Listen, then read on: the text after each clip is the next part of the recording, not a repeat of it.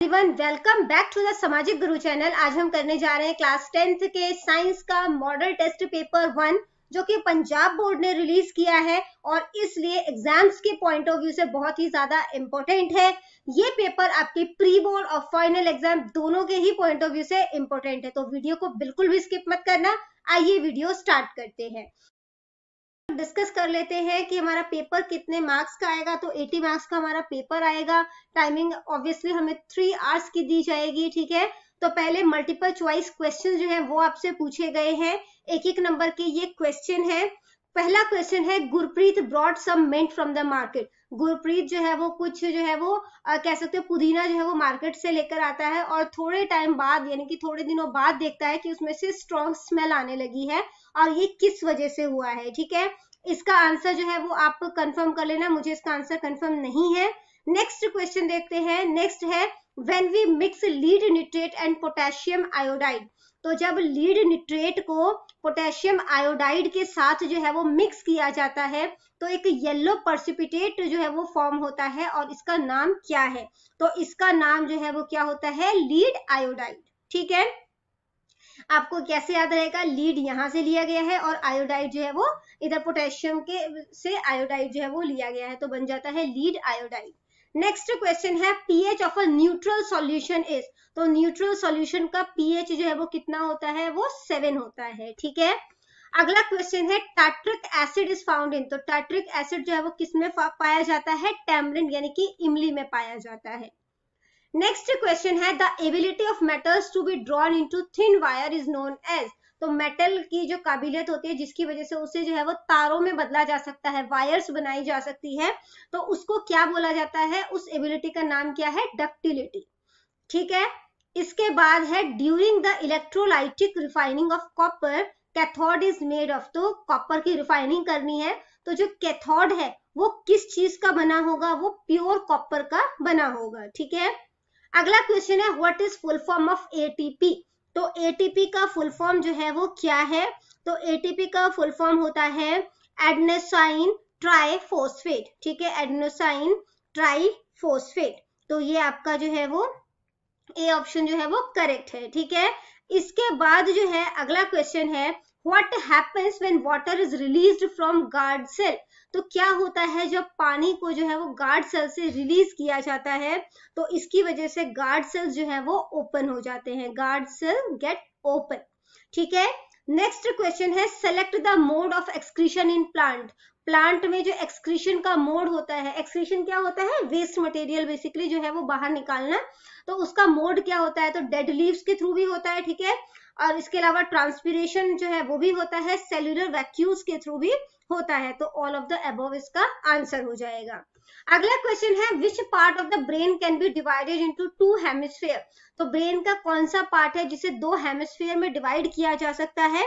तो fore brain को जो है वो डिवाइड किया जा सकता है। नेक्स्ट क्वेश्चन है which of the following is not an involuntary action तो इसमें से कौन सा जो है वो इनवॉलेंट्री एक्शन नहीं है? ठीक है? तो इनवॉलेंट्री एक्शन बेसिकली होता है जो कि हम मतलब कि चाहते नहीं और अप, मतलब कि अपने आप हो जाता है ठीक है? तो मतलब कि हमारा इसमें विल नहीं होता। तो यहाँ पर जो है वो जो च्यूइंग है ये हम जानकर करते हैं ठीक है? तो वो इनवॉलेंट्री एक्शन नहीं है। सलाइवेशन मुँह में जो सलाइवा आता है वो हम जानकर नहीं लेके आते वो अपने आप आ जाता है। हार्ट बीट अपने आप चलती रहती है वॉमिटिंग भी अपने आप हो जाता है। ठीक है? The disease cause due to sexual contact sexual contact की वजह से जो बीमारी फैलती है वो कौन सी होती है? एड्स ठीक है? नेक्स्ट है the human which has X Y chromosome तो ह्यूमन जिसमें कि एक्स वाई क्रोमोजोम होता है, वो कौन से जेंडर का होगा? तो एक्स वाई जो होता है, वो पाया जाता है मेल में, ठीक है? और एक्स एक्स जो है, वो पाया जाता है फीमेल में। तो एक्स वाई पूछा है, इसलिए मेल इसका आंसर है। अगला क्वेश्चन है which of the following material can not be use to make a lens इसमें से कौन सा मटेरियल है जिसका इस्तेमाल लेंस बनाने के लिए नहीं किया जा सकता? तो क्ले का इस्तेमाल जो है, आप लेंस बनाने के लिए नहीं कर सकते। जो आपसे पूछा गया है, वो है स्पाइरोगायरा का जो मोड ऑफ़ रिप्रोडक्शन है, ठीक है? वो कौन सा होता है? तो वो होता है फ्रेगमेंटेशन ठीक है? ये बेसिकली जो है वो असेक्शुअल मेथड ऑफ़ रिप्रोडक्शन होता है, ठीक है? और नेक्स्ट क्वेश्चन जो हमसे पूछा गया है, वो है what will be the colour of sky when seen from moon तो जब आप मून से जो है वो स्काई का कलर देखोगे तो वो कैसा होगा? तो वो ब्लैक होगा। क्यों होगा? क्योंकि जो है वो मून का जो है वो अपना एटमोस्फेयर जो है वो नहीं है, जिसकी वजह से लाइट जो है वो नहीं बिखरती और आसमान जो है वो हमें ब्लैक कलर का दिखेगा। ठीक है? नेक्स्ट क्वेश्चन है which of the following metal is use in making the filament of electric bulb तो इलेक्ट्रिक बल्ब का जो फिलामेंट है, ठीक है? तो वो जो है, वो किस चीज़ से बना होता है बेसिकली जो बल्ब होता है है ना? जो पुराने टाइप का जो बल्ब आता था, आपको याद है? उसमें कुछ इस तरीके से जो है, वो यहाँ पर वो तार सी लगी होती थी। ये जो बेसिकली तार होती है, ये किस चीज़ से बनी होती है? तो ये टंगस्टन से बनी होती है, ठीक है? इसके बाद अगला क्वेश्चन है choose the instrument use to protect electric circuit from short circuiting and overloading तो उस इंस्ट्रूमेंट का नाम बताना है, जो कि जब शॉर्ट सर्किट होता है या मतलब कि बेसिकली ओवरलोडिंग हो जाता है तो वो प्रोटेक्ट करता है तो वो इलेक्ट्रिक फ्यूज होता है, ठीक है? तो फ्यूज यहाँ पे आंसर हो गया। नेक्स्ट क्वेश्चन है what is the molecular formula of ozone ozone का मॉलिक्यूलर फॉर्मूला क्या होता है? तो वो ओ थ्री होता है, ठीक है? नेक्स्ट क्वेश्चन है which of the following is not non biodegradable मतलब कि जो सड़गल के खत्म नहीं होती है ठीक है? तो वो कौन सा है? तो बेसिकली यहाँ पे प्लास्टिक बॉटल और ग्लास दोनों है। इस करके ये, जो है वो वर्ड यहाँ पे ग्रास था। मैंने आपकी बुक में जो है वो टेली किया था ये ग्रास के अकॉर्डिंग होगा ठीक है? तो क्योंकि ग्लास और प्लास्टिक बॉटल दोनों ही नॉन बायोडिग्रेडेबल होते हैं ठीक है? तो ये ग्रास होगा तो हम प्लास्टिक बॉटल को टिक कर सकते हैं फिर ठीक है? अगला जो है वो मैचिंग आपको दिया गया है। मैचिंग में एमामीटर जो है, वो किसके साथ कनेक्ट है? वो हो गया हमारा इलेक्ट्रिक करंट के साथ कनेक्ट ठीक है? ये हो गया। इसके बाद यूनिट ऑफ़ रेजिस्टेंस जो है, उसको हम ओम में करते हैं, ठीक है? ये ओम से कनेक्टेड है। इसके बाद नियर साइटेडनेस जो है, वो कनकेव लेंस से कनेक्टेड है। तो ये हमारा जो है वो थर्टींथ हो गया। फिर आपसे मिरर फॉर्मूला पूछा है तो ये मिरर फॉर्मूला है, ये हो गया आपका फोर्टीन और ड्रिंकिंग एल्कोहल जो है उसमें एथेनॉल होगा तो वो हो गया आपका फिफ्टीन ठीक है? अब ये 25 जो है वो आपके क्वेश्चन हो गए, वो सारे एक एक नंबर के थे। इसके बाद अब आ जाते हैं दो दो नंबर के क्वेश्चन पर, जिसमें से आपने किसी 11 क्वेश्चंस को अटेम्प्ट करना है, ठीक है? तो यहाँ पर जो क्वेश्चन आपसे पूछा गया है compare the functioning of alveoli in lungs and nephrons in the kidney तो लंग्स में एलोविली का और किडनी में नेफ्रॉन्स के फ़ंक्शन को कंपेयर करना है, उनके स्ट्रक्चर और फंक्शनिंग के अकॉर्डिंग ठीक है कि वो बनावट उनकी कैसी है और किस तरीके से काम करते हैं. तो लंग्स के एलोविली में this is the functioning unit of lung lung का ये फंक्शनिंग यूनिट है और नेफ्रॉन जो होता है वो किडनी का है, ठीक है? They are approximate there are approximately thirty crore alveoli in each lung तो हर लंग्स में 30 करोड़ एल्वली जो है वो लगभग होते हैं, जबकि वहीं पर एक किडनी में ten lakh neurons sorry, nephrons जो है वो होते हैं, ठीक है? इसके बाद है alveoli provide a large area for exchange of gases. तो ये बेसिकली काफ़ी बड़ा एरिया प्रोवाइड करता है ताकि जो गैसेस का एक्सचेंज है, वो हो सके, ठीक है? बेसिकली जैसे कि हम लोग ऑक्सीजन जो है वो इनहेल करते हैं और कार्बन डाइऑक्साइड जो है वो एक्सहेल करते हैं, वो प्रोसेस हो सके, ठीक है? जबकि इनका जो नेफ्रॉन्स का किडनी में जो है वो लार्ज एरिया नहीं होता। इसके बाद ये जो है वो it exchanges oxygen and carbon dioxide gases exchanges of gases आपको याद रहेगा, ठीक है? तो ऑक्सीजन और कार्बन डाइऑक्साइड गैसेस को एक्सचेंज करते हैं, जबकि किडनी क्या करता है? बॉडी मतलब कि जो हमारे बॉडी में जो वाटर है ना? उसको बेसिकली फ़िल्टर करता है, ठीक है? तो it control the amount of water and mineral तो ये वाटर और मिनरल को जो है वो बेसिकली कंट्रोल करता है, ठीक है? अगला क्वेश्चन देखते हैं. Why should a magnesium ribbon be rubbed before burning in the air? तो मैग्नीशियम रिबन को जो है जलाने से पहले मतलब इन्वायरमेंट में जलाने से पहले रब क्यों किया जाता है? Because there is a layer of magnesium oxide on the magnesium ribbon क्योंकि मैग्नीशियम रिबन के ऊपर मैग्नीशियम ऑक्साइड का लेयर होता है, ठीक है? परत होती है, और जिसकी वजह से जो है वो अलाउ नहीं करता कि वो ऑक्सीजन के साथ रिएक्ट कर सके, और जब तक वो ऑक्सीजन से रिएक्ट नहीं करेगा, वो बर्न नहीं होगा। क्लियर है? नेक्स्ट क्वेश्चन को देखते हैं why should curd and other sour substances not be kept in brass और कॉपर वेसल्स तो जो मतलब कि दही है या दूसरे जो खट्टे पदार्थ है उन्हें ब्रास या कॉपर वेसल में क्यों नहीं रखा जाता? तो curd and other sour substances contains acid क्यों नहीं रखा जाता? क्योंकि ये जो खट्टे पदार्थ होते हैं या दही होता है इनमें एसिड होता है ठीक है? Therefore, when they are kept in brass and copper vessels, the metal react with the acid to liberate hydrogen gas. तो बेसिकली तो जब इनको जो है इस मेटल में रखा जाएगा तो ये जो है, इसके साथ रिएक्ट करेंगे और हार्मफुल गैस हार्मफुल प्रोडक्ट्स जो है वो बनाएँगे और इस तरीके से खाने को बर्बाद कर देंगे स्पॉइल कर देंगे।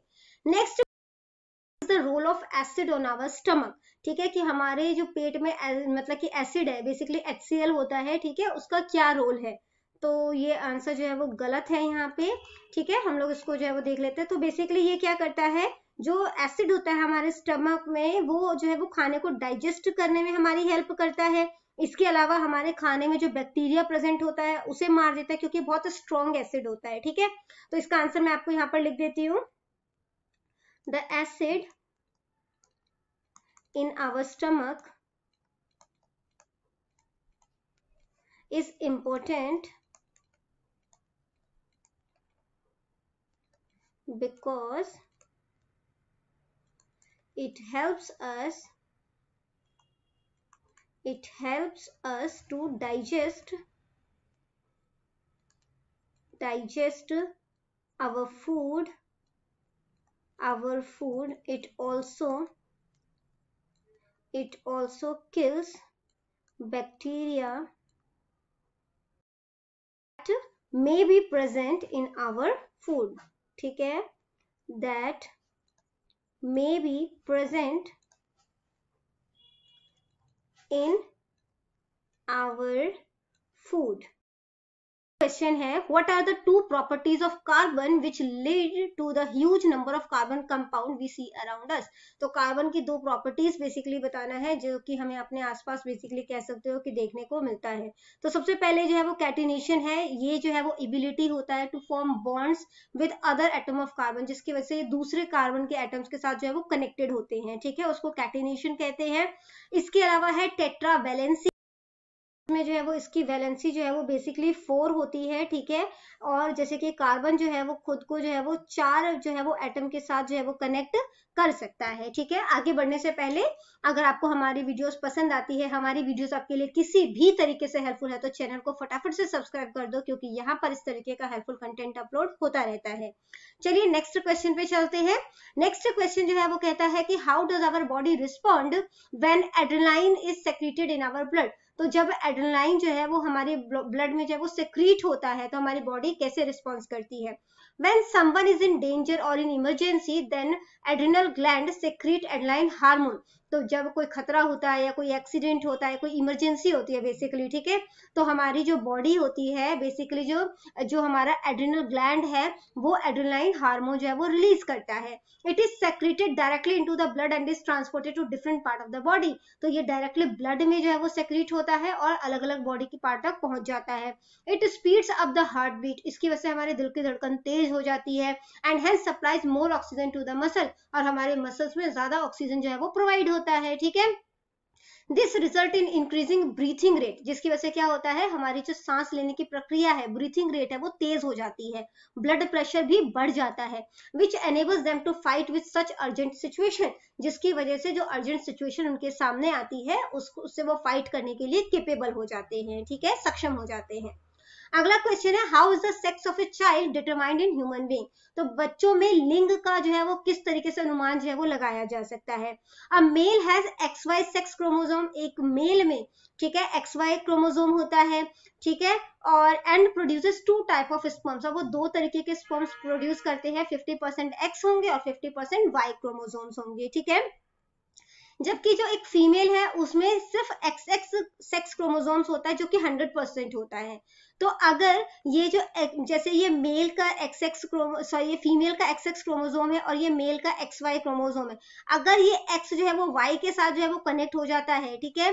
अगर एक्स वाई बन जाता है तो जो बच्चा होगा, वो क्या होगा? मेल अगर एक्स के साथ जो है, वो एक्स कनेक्ट हो जाता है, यानी कि एक्स एक्स हो जाता है तो वो जो बच्चा होगा, वो क्या होगा? फीमेल ठीक है? तो इस तरीके से जो है वो डिटरमाइन जो है वो किया जा सकता है। अगला क्वेश्चन है define principal focus of a concave mirror तो कनकेव मिरर का प्रिंसिपल फोकस क्या है, उसकी डेफिनेशन आपने बतानी है। कनकेव मिरर का प्रिंसिपल फोकस बताना है तो वो क्या होता है, जैसे ये हमारा जो है वो कनकेव मिरर है, ठीक है? तो यहाँ जो है क्या ये जो लाइन आपको दिख रही है ना, ये जो है वो हमारा क्या है प्रिंसिपल एक्सेस है, ठीक है? इसी पर हमें प्रिंसिपल फोकस देखने को मिलता है। तो जो इंसिडेंट रेज होती हैं, ठीक है, वो उसके पैरेलल होती है प्रिंसिपल फोकस के थ्रू तो जब ये उससे टकरा कर जो वापस आती है ना तो जहाँ पर ये जो है वो टकरा के जो है वो वापस आएगी तो जिस पॉइंट पे टकराएगी, इस क्वेश्चन है what is meant by accommodation in human eye accommodation in human eye से क्या समझते हो? तो बेसिकली हमारे आई लेंस की वो काबिलियत होती है, जिसकी वजह से वो फोकल लेंथ को जो है वो एडजस्ट करता है ताकि हम पास की या दूर की चीज़ें देख सके और इसी को power of accommodation of eye कहते हैं, ठीक है? अगला क्वेश्चन है give the characteristics of magnetic field line magnetic field line के कैरेक्टरिस्टिक्स यानी कि लक्षण बताने हैं तो मैग्नेटिक फ़ील्ड लाइन जो है वो स्टार्ट होती है नॉर्थ से और साउथ तक जाती है, ठीक है? और ये जो है कभी भी एक दूसरे को नहीं काटती। अगला क्वेश्चन है what is ozone and how does it affect an ecosystem ozone क्या होता है और ये हमारे इकोसिस्टम को किस तरीके से प्रभावित करता है? तो ओजोन यानी कि जो O3 है, ठीक है, ये एक ट्राई एटोमिक मॉलिक्यूल है ऑक्सीजन का। थ्री है ना तो मतलब ट्राई एटोमिक ठीक है? तीन एटम हैं इसमें। बेसिकली ओ थ्री जो है this forms a layer in the upper atmosphere ये हमारे जो एटमोस्फेयर का अपर लेयर है, उस, वो ओजोन से बना होता है। It shields the surface of the earth ये अर्थ को बेसिकली कवर करता है शील्ड करता है फ्रॉम अल्ट्रा वायलेंट रेडिएशन ठीक है? या उस, कह सकते हैं आप उसे, बचाता है यूवी रेस से। Coming from the sun as these radiation जो कि सन से मिलता है और ये जो रेज होती है, ये हमें मतलब बहुत ज़्यादा हार्मफुल होती है। बेसिकली स्किन कैंसर कर सकती है एंड कैट्रेक्ट इन ह्यूमन तो ह्यूमन में कैट्रेक्ट जो है वो कर सकती है, ठीक है? इसके अलावा ये फ़सलों को खराब कर सकती है। क्या चीज़? यूवी रेज ठीक है? अगला क्वेश्चन है which two gases are related during electrolysis of water तो कौन सी दो गैसेज जो है वो रिलीज़ होती है जब वाटर का इलेक्ट्रोलाइसिस किया जाता है, ठीक है? तो जो दो गैसेज रिलीज़ होंगी जब वाटर को इलेक्ट्रोलाइसिस किया जाएगा तो वाटर बेसिकली H2O से बना होता है ना? तो एक हाइड्रोजन गैस रिलीज़ होगा और दूसरा जो है वो ऑक्सीजन होगा। केमिकल इक्वेशन के थ्रू बताना है तो टू एच टू ओ तो जो हाइड्रोजन है वो अलग हो जाएगा ऑक्सीजन जो है वो अलग हो जाएगा। अगला क्वेश्चन है why do stars twinkle stars जो है वो क्यों ट्विंकल करते हैं, यानी कि टिमटिमाते हैं या चमचमाते हैं? ठीक है? तो star twinkle due to atmospheric reflection of light अब क्योंकि एटमोस्फेरिक रिफ्लेक्शन ऑफ़ लाइट है, उसकी वजह से हमें ट्विंकल होता हुआ नज़र आता है। स्टार्स जो है वो अर्थ से बहुत ज़्यादा दूर है और इसीलिए ये एक पॉइंट की तरह से जो है वो हमें दिखता है, ठीक है? When the light coming from stars enter the earth atmosphere it gets reflected अब क्योंकि हमारे इन्वायरमेंट में जो है वो गैसेज है, ठीक है? हवा जो है वो मूव कर रही होती है तो बेसिकली जो है वो जब अर्थ एटमोस्फेयर में आता है तो वो हमें रिफ्रेक्टेड होता हुआ दिखता है because of the variation in the air density तो कहीं पर एयर की डेंसिटी कम है, कहीं पर ज़्यादा है है ना? तो अलग अलग लेवल है हमारे एटमोस्फेयर का, जिसकी वजह से जब ये हमारे आँखों तक आता है तो हमें जो है इसमें चेंजेस होते हुए नज़र आते हैं और उसी को हम लोग जो है वो क्या कहते हैं कि स्टार्स जो है वो ट्विंकल कर रहे हैं, ठीक है? अगला क्वेश्चन है what would deficiency of haemoglobin in our bodies तो हमारी बॉडीज में अगर हीमोग्लोबिन की कमी हो जाए तो उसका रिज़ल्ट क्या होगा? तो deficiency of haemoglobin in blood can decrease the oxygen supply तो अगर हीमोग्लोबिन की कमी हो जाएगी तो हमारी बॉडी में ऑक्सीजन का सप्लाई जो है, वो भी कम हो जाएगा, ठीक है? This can lead to deficiency of oxygen in the body cell तो जिसकी वजह से क्या होगा बॉडी सेल में भी ऑक्सीजन की डिफिशियंसी हो जाएगी, यानी कि कमी हो जाएगी और इसकी वजह से जो है वो एनीमिया नाम की बीमारी जो है वो हो जाती है, ठीक है? अगला क्वेश्चन है a doctor has prescribed a corrective lens of power plus 1.5 D ठीक है? तो लेंस का ये नंबर है find focal length of lens तो लेंस का फोकल लेंथ जो है वो फाइंड आउट करना है इज़ प्रिस्क्राइब्ड लेंस डाइवर्जिंग और कन्वर्जिंग तो ये जो लेंस है वो डाइवर्जिंग है कि कन्वर्जिंग है, वो भी आपने बताना है। ऑफ़ लेंस जो है, वो हमें दिया गया है 1.5 डी ठीक है? तो वो दिया है। इसके बाद जो फोकल लेंथ है, वो हमने फाइंड आउट करना है। तो P is equal to one upon F होता है। यहाँ पे जो है, वो हमने वैल्यू जो है, वो पुट कर ली है, ठीक है? वन अपॉन एफ़ है, ठीक है? तो हम इसको जो है, वो या तो हम कह सकते हैं कि जो f है, वो वन अपॉन पी के इक्वल है। तो यहाँ पर वैल्यू जो है, वो पुट कर देते हैं। ये हो गया आपका 1.5 ठीक है? पॉइंट हटाओगे तो ये क्या हो जाएगा? टेन और ये फिफ्टीन हो जाएगा। कटिंग करोगे इसकी तो यहाँ पे क्या जाएगा? Zero point six six metre, ठीक है? अब ये क्योंकि पॉजिटिव का है, ठीक है? तो ये जो है वो किस किस टाइप का लेंस हुआ? कन्वर्जिंग लेंस हुआ। तो फोकल लेंथ पॉजिटिव है और कन्वर्जिंग लेंस जो होता है वो कन्वेक्स लेंस का होता है, ठीक है? तो ये जो है वो क्या है? कन्वर्जिंग है।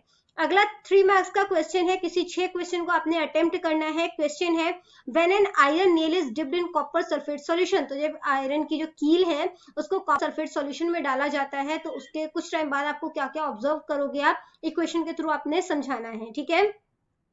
तो due to high reactivity of iron than copper iron की रिएक्टिविटी ज़्यादा होती है as compare to copper iron displaces copper from blue copper sulphate solution forming iron sulphate तो आयरन जो है वो कॉपर को डिस्प्लेस कर देगा from blue copper sulphate solution forming iron sulphate तो अब वो आयरन सल्फेट बन जाएगा जो कि ग्रीन कलर का होगा.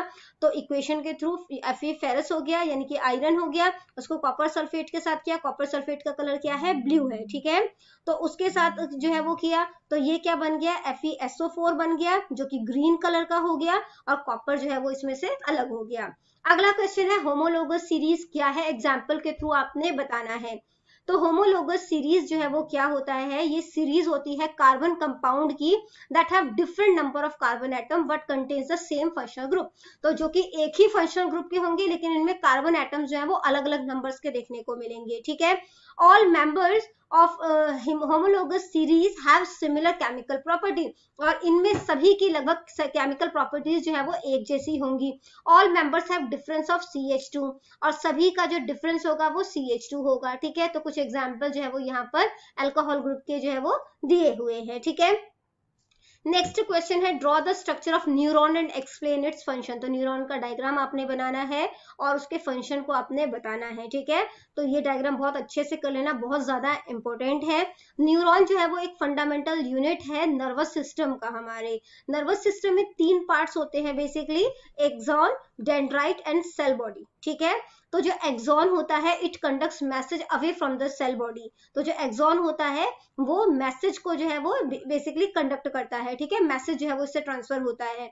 जो डेंड्राइट्स होते हैं, ठीक है? ये जो छोटी सी आपको ये सब दिख रहे हैं ना, ये डेंड्राइट्स हैं।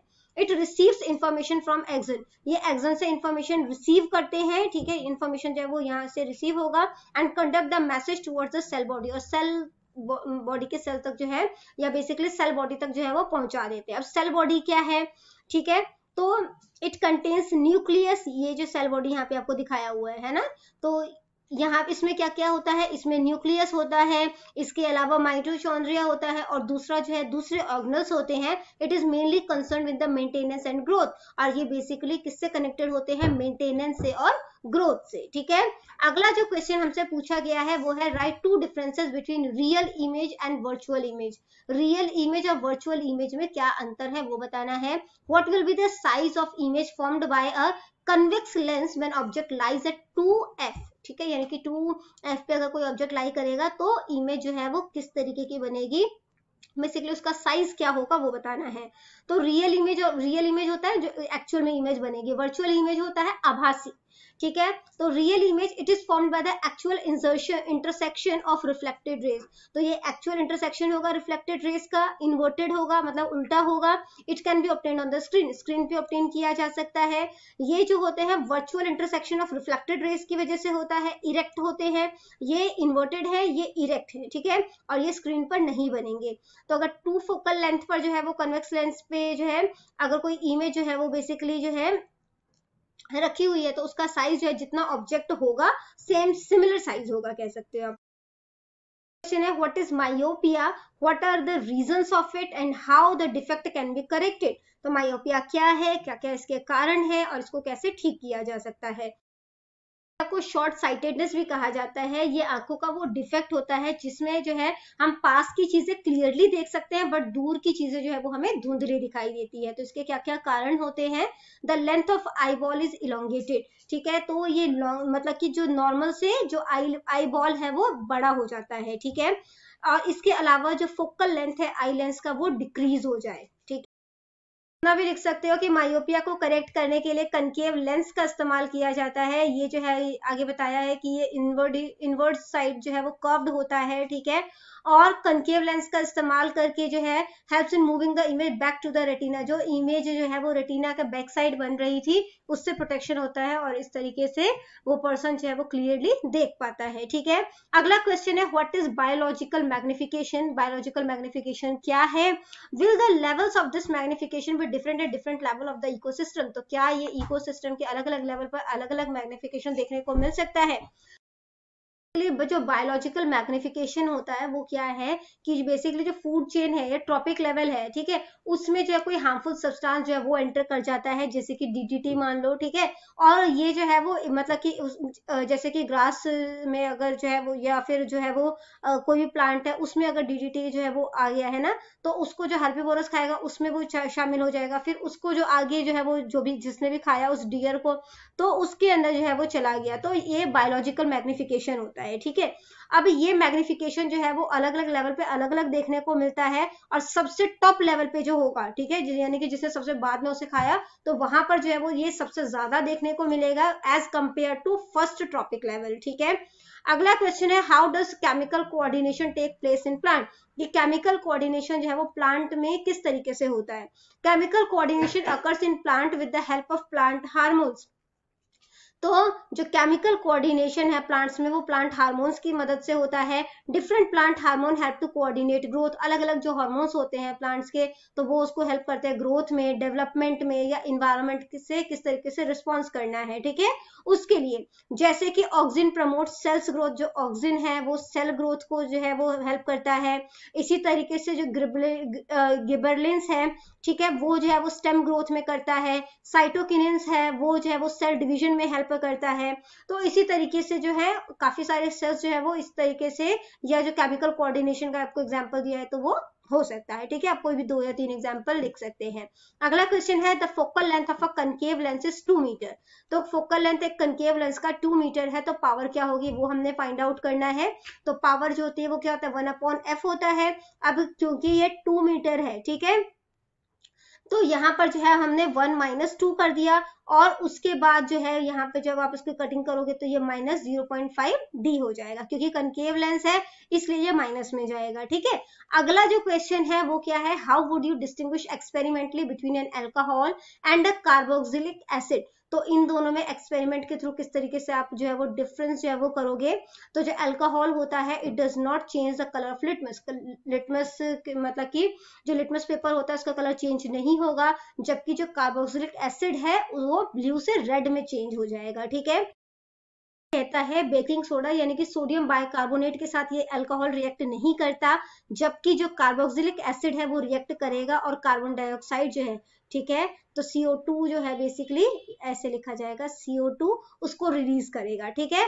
By heating in alkaline potassium तो जब अल्कोहल को अल्कलाइन पोटेशियम परमैंगनेट सॉल्यूशन के साथ जो है वो गर्म किया जाएगा का जो पिंक कलर है अल्कोहल उसे गायब कर देगा। वहीं पर जब कार्बोक्सिलिक एसिड को जो है वो मतलब कि इस जो अल्कलाइन पोटेशियम परमैंगनेट सॉल्यूशन है, उसके साथ जो है वो रिएक्ट किया जाएगा या हीट किया जाएगा तो पिंक कलर पे कोई भी असर नहीं पड़ेगा, ठीक है? नेक्स्ट जो है वो आपको फाइव मार्क्स के क्वेश्चन जो है वो पूछे गए हैं, और इसको जो है किसी तीन क्वेश्चन को आपने अटेम्प्ट करना है। सबसे पहला क्वेश्चन है differentiate between sexual reproduction and asexual reproduction ठीक है? तो जो असेक्शुअल रिप्रोडक्शन होता है, उसमें न्यू इंडिविजुअल जो है सिंगल पेरेंट से जो है, वो बन सकता है। जबकि सेक्सुअल रिप्रोडक्शन में दो सेल की ज़रूरत होती है, ठीक है? तो यहाँ पे जो है, वो दोनों पे मतलब कि दोनों पेरेंट की जो है, वो ज़रूरत होती है, ठीक है? इसके बाद it does not require the production of sex organ इसमें जो है, वो सेक्स ऑर्गन की ज़रूरत नहीं होती है, जबकि सेक्सुअल रिप्रोडक्शन के लिए सेक्स ऑर्गन की ज़रूरत होती है। The reproductive unit is called gamete which is unicellular and haploid तो यहाँ पर जो है बेसिकली आप सीधा इसके साथ ही कनेक्ट कर दो, ठीक है? कि इसके लिए सेक्स जो ऑर्गन्स की ज़रूरत होती है। It does not involve fusion of cells इसमें जो है वो सेल्स का फ्यूजन नहीं होता, ठीक है? Formation of sex organs are essential तो ये पॉइंट जो है वो ऊपर नीचे हो गया। इस पॉइंट को आप हटा दो, ठीक है? ये इसके साथ आ गया। ये वाला पॉइंट इसके साथ है।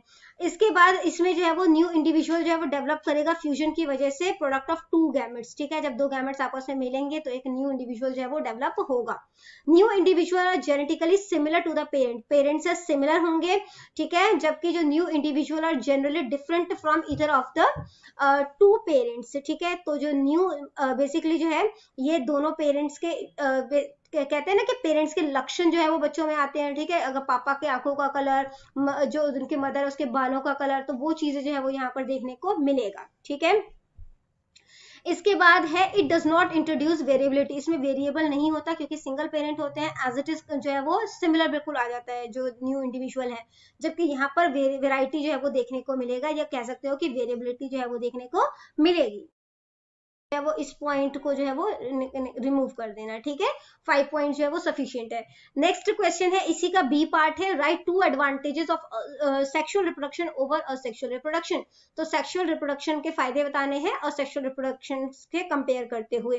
तो जो सेक्सुअल रिप्रोडक्शन है, ज़्यादा वेरिएशन जो है वो आते हैं। Thus it ensure survival of species in a population तो इस तरीके से प्रजातियाँ जो है वो सुरक्षित रहती है, ठीक है? और दूसरा जो इसका बेनिफिट है, वो है the new formed individual has characteristic of both the parents तो जो नया जो कह सकते हो इंडिविजुअल पैदा होगा, उसमें दोनों ही पेरेंट के लक्षण जो है वो देखने को मिलेंगे, ठीक है?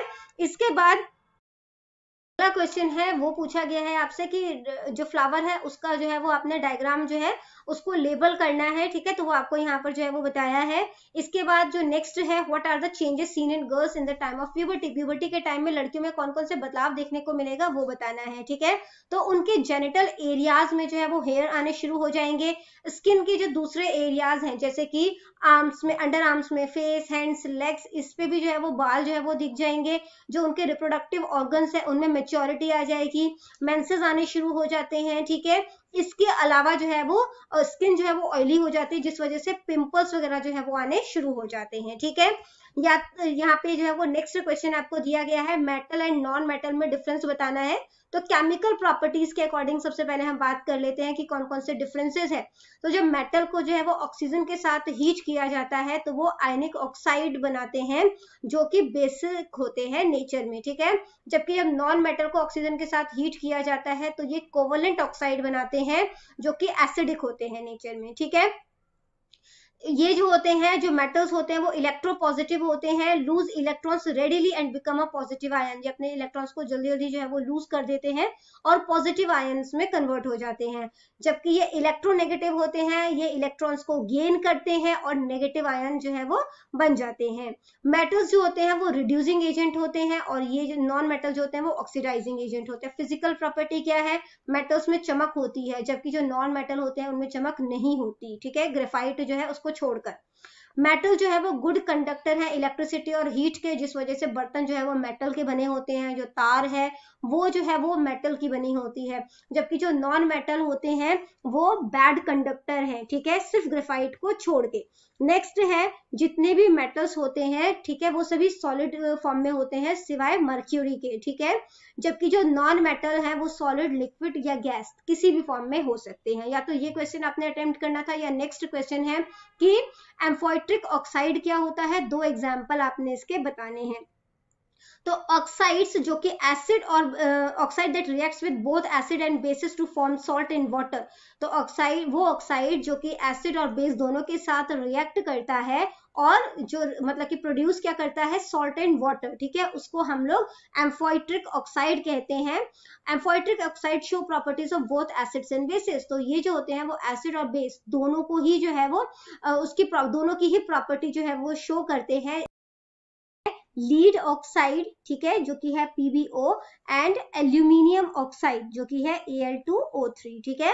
अगला क्वेश्चन है why do ionic compound have high melting point तो जो आयनिक कंपाउंड होते हैं, उनका मेल्टिंग पॉइंट हाई क्यों होता है? तो ionic compound have strong electrostatic force of attraction between the ion तो इनके आयन के बीच में बहुत ज़्यादा स्ट्रॉन्ग इलेक्ट्रोस्टैटिक फोर्सेज होता है therefore it requires a lot of energy to overcome these forces तो इस फोर्सेज से बाहर निकलने के लिए काफ़ी एनर्जी की ज़रूरत होती है। जो आयनिक कंपाउंड है, उनका मेल्टिंग पॉइंट काफ़ी ज़्यादा हाई होता है, ठीक है? अगला क्वेश्चन है ओम्स लॉ क्या है? How will you verify Ohm's law in the laboratory laboratory में जो है आप इसको किस तरीके से वेरीफाई कर सकते हैं? तो बेसिकली ओम्स लॉ जो है वो क्या बताता है कि आप इलेक्ट्रिक मतलब कि बेसिकली आप जितना वोल्ट बढ़ाओगे, ठीक है? या बैटरी जो है वो आपने जैसे पहले सिक्स वोल्ट की लगाई थी, ठीक है? तो बल्ब जो है वो ग्लो कर गया था बट मतलब कि ठीक ठाक ग्लो कर गया था बट अगर वहीं पर थ्री वोल्ट की लगाओगे तो ये थोड़ा कम ग्लो करेगा बल्ब जब आपने ट्वेल्व वोल्ट का लगा दिया तो वो ज़्यादा जो है वो मतलब कि ज़्यादा ग्लो करेगा। तो बेसिकली हम लोग कह सकते हैं कि जैसे जैसे आप जो है वो कह सकते हो कि जो वोल्ट जो है वो बेसिकली या करंट जो है वो ज़्यादा इसको दोगे तो ये उतना ही जो है वो मतलब कि ज़्यादा ग्लो या कम करेगा। तो ये डायरेक्टली प्रपोर्शनल वी जो है वो आई के डायरेक्टली प्रपोर्शनल है, ठीक है? तो जिस वजह से जो है वो इस तरीके का ग्राफ जो है, जो अपवर्ड जो है वो स्लोप शो हो रहा है, ठीक है? तो उसमें जो है वो ये शो होगा। इसके बाद जो अगला क्वेश्चन है कि एक इलेक्ट्रिक हीटर है of resistance 8 ohm draws 15 A from service mains for two hours calculate the rate at which heat is developed in the heater तो किस रेट पर जो है वो यहाँ पे हीट डेवलप होगी, वो आपने बताया तो रेजिस्टेंस 8 ओम है, जो करंट है जिसको कि हम आई से शो करते हैं, वो 15 एम्पियर का है। टाइम हमें टू आवर्स दिया गया है, जिसको हमने सेकेंड में कन्वर्ट कर दिया है, ठीक है? तो सेवेंटी टू हंड्रेड सेकेंड हो गया। Rate at which heat is developed the power of जो हीटर है वो क्या है? P is equal to I यानी कि जो करंट का स्क्वायर और R, इनको मल्टीप्लाई कर दोगे तो I हमारा 15 है, उसका स्क्वायर इंटू एट और उसके बाद इसे मल्टीप्लाई कर दोगे तो टोटल आंसर जो है वो कितना आ जाएगा? 1800 वोट आ जाएगा, ठीक है? इसके बाद जो अगला बी पार्ट है, इसका वो है why is series arrangement not use in domestic circuit तो जो डोमेस्टिक सर्किट्स होता है, उसमें सीरीज़ अरेंजमेंट का इस्तेमाल क्यों नहीं किया जाता? जाता क्योंकि जो पैरेलल कनेक्शन होता है, इसमें जो डिवाइस की जो इफेक्टिवनेस है, ठीक है, वो बेसिकली जो है, वो कह सकते हो कि रिड्यूस हो जाती है सर्किट पे। और अगर एक पे जो है वो असर होता है, ठीक है, या जो है वो एक डिवाइस काम करना बंद कर देता है तो इसका दूसरे पर असर जो है वो नहीं पड़ता। इसी वजह से हम लोग जो पैरल कनेक्शन है, उसको जो है वो डोमेस्टिक सर्किट के लिए यूज़ करते हैं as compare to series arrangement तो बच्चों, यहाँ पर हो जाती है हमारी वीडियो खत्म। इनकेस आपको कोई भी डाउट है तो आप कमेंट कीजिए। आपको रिप्लाई करने की पूरी पूरी कोशिश करूँगी। Thank you very much and all the best for your exams bye bye